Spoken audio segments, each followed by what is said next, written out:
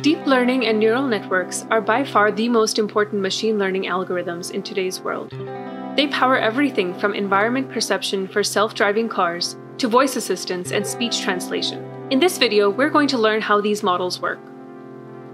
The problem of supervised learning can also be expressed as the problem of function approximation, or curve fitting. Many times, the functions that interest us are way more complicated.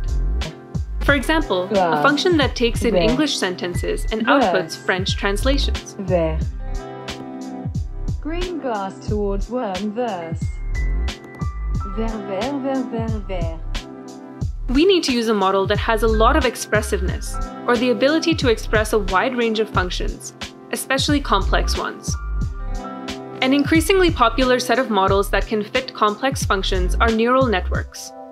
Neural networks are composed of individual neurons inspired by biological neurons. A neuron receives multiple inputs, which are combined as a weighted average. This weighted average is then fed into an activation function. This function outputs a single value, which is 0 for low inputs and 1 for high inputs. It can be approximated by the S-shaped logistic function. So essentially, a neural network is a sequential arrangement of logistic regression functions, or neurons, whose outputs are then fed as inputs to other neurons. We'll see how this arrangement of simple functions is capable of representing complex functions. If you haven't already watched our 5-minute video on logistic regression, please do so now. Back to neural networks, let's take the simple example of modeling logic gates. Logic gates are defined by these tables, called truth tables. AND checks whether both inputs are 1, OR checks if at least one input is 1, and XOR checks if exactly one input is 1. Let's try to represent these functions using a linear boundary that separates the zeros and the ones. It's quite easy to do this for AND and OR, as you can see here. However, things get complicated when trying to model XOR with a linear or logistic function, which cannot fit this nonlinear boundary. However, we can represent XOR as a composite function or one which takes the outputs of other functions as its inputs. One way to do this is to define a function h1, which is the OR function, and h2, which is not AND. Remember, the XOR operation requires that only one input be 1, but not both. So let's bring back the OR function that we saw before and now call it h1.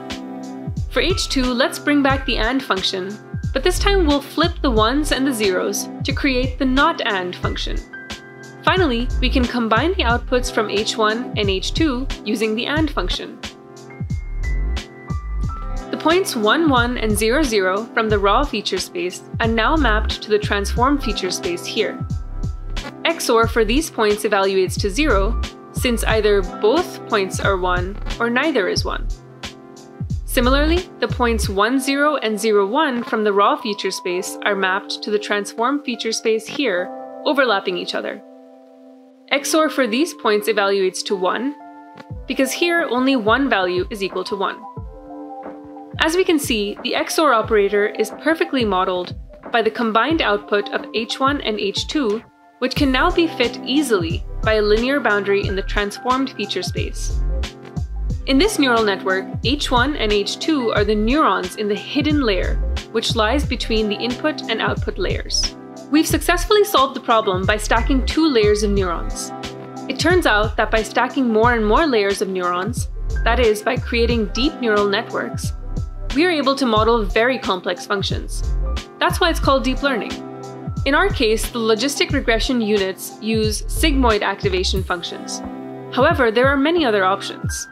Right now, variants of ReLU are in fashion. That's it, folks. You just learned how deep learning works. Stay tuned for an upcoming video on how to interpret and understand decisions made by complex models like neural networks. Let us know your thoughts in the comments, and make sure to subscribe to Econoscent for more.